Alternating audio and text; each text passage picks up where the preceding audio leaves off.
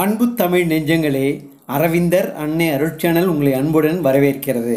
எப்படி நல்லா இருக்கீங்களா? இந்த காணொலியில் நாம் பார்க்க இருக்கின்ற தலைப்பு புதுடெல்லியைச் சேர்ந்த வினோத்குமார் சௌத்ரி என்பவர் தட் தனது தட்டச்சுமி திறமையால் ஒன்பது கிண்ண சாதனைகளை புரிந்துள்ளார். மேலும் விவரங்களுக்கு காணொளி உள்ளே சென்று பார்க்கலாம். இந்த காணொளி மிகச்சிறிய காணொளி தான் தயவுசெய்து முழுமையாக பார்க்கும்படி கேட்டுக்கொள்கிறேன். வாங்க காணொளிக்கு உள்ளே போகலாம். மேலும் விவரங்களுக்காக.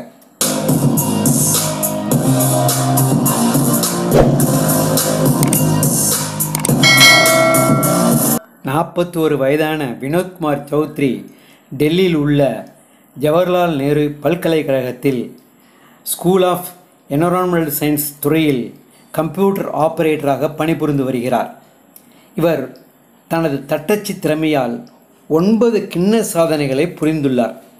இவருடைய சாதனைகள் வெளியுலகுக்கு தெரியாமலே இருந்திருக்கிறது. இப்பொழுதுதான் பத்திரிகை துறைகளெல்லாம் சமூக ஊடகவியல் துறையும் இதை பிரபலப்படுத்தி இருக்கின்றன. கடந்த ரெண்டாயிரத்தி இருபதாம் ஆண்டு லாக்டவுன் காலத்தில் பல்கலைக்கழகம் மூடப்பட்ட போது இவர் தனது ஒன்பதாவது சாதனையை புரிந்துள்ளார். இவர் ரெண்டாயிரத்தி பதினாலாம் ஆண்டிலிருந்து இந்த சாதனைகளை புரிந்து வந்திருக்கிறார்.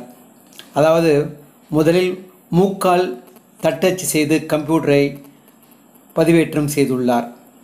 பிறகு தனது கண்களை மூடிக்கொண்டு கையில் ஒரு குச்சி வைத்துக்கொண்டு கீபோர்டை ஆப்ரேட் செய்து வேகமாக தட்டச்சு செய்து கிண்ண சாதனை புரிந்துள்ளார் அதேபோல் வாயில் குச்சியை வைத்துக்கொண்டு கம்ப்யூட்டர் கீபோர்டை தட்டச்சு செய்து அதில் வேகமாக தட்டச்சு செய்ததனால் கிண்ண சாதனையும் புரிந்துள்ளார் இவ்வாறு பல சாதனைகளை புரிந்து தற்போது ஒன்பதாவது கிண்ண சாதனையும் புரிந்துள்ளார் இவர் ஏழை மற்றும் ஊனமுற்ற குழந்தைகளுக்காக வீட்டில் ஒரு கணினி பயிற்சி கூடத்தையும் தனது சொந்த செலவிலேயே ஏற்படுத்தி அந்த மாணவர்களுக்கு இலவசமாக பயிற்சியும் அளித்து வந்து கொண்டிருக்கிறார்.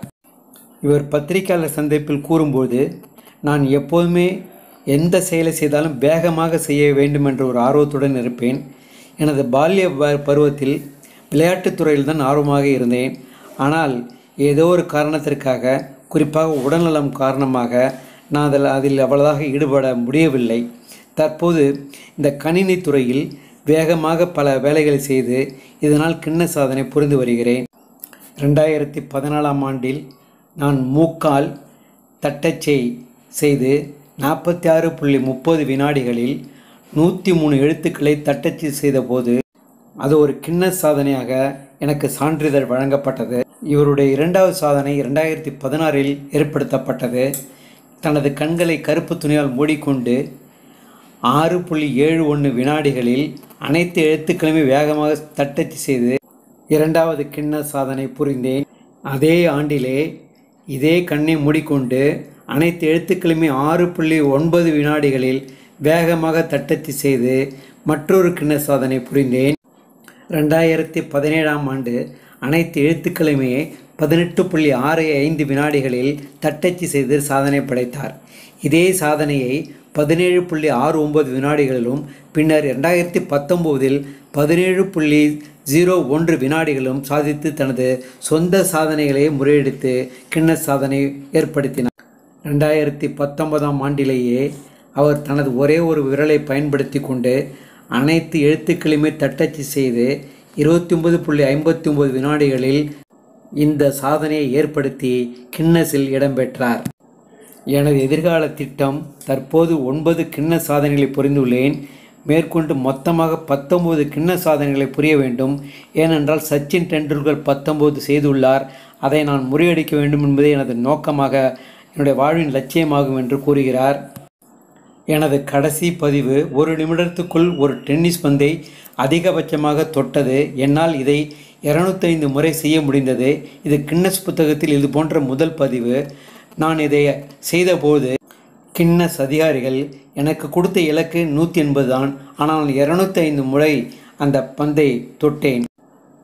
எனது எதிர்கால லட்சியம் இன்னும் ஒன்று இருக்கிறது. இந்த ஏழை எளிய மாணவர்களுக்கும் ஊனமுற்ற மாணவர்களுக்கும் நான் தற்போது பயிற்சி அளித்து கொண்டிருக்கின்ற இந்த கணினி முறையை மிகச்சிறந்த கட்டமைப்போடு நன்கு அனைத்து வசதியிலும் உள்ள ஒரு கட்டிடத்தில் இதை அவர்களுக்கு இலவசமாக ஏற்படுத்தி தருவதுதான் எனது எதிர்கால லட்சியமாகும் இவர் முதுகலை பட்டம் பெற்றுள்ளார்.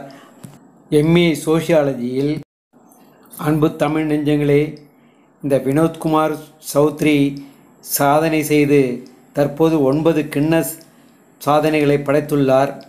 இதை பற்றி தெரிந்து கொண்டிருப்பீர்கள். மீண்டும் ஒரு நல்லதொரு சந்தர்ப்பத்தில் அடுத்த காணல் உங்களை சந்திக்க காத்து கொண்டிருக்கும் உங்கள் பேரன்பிற்குரிய பேராசிரியர் ஆர்வி பழனி. இந்த காணொலை முழுமையாகவும் பொறுமையாகவும் பார்த்தமைக்கு மிக்க நன்றி. வணக்கம்.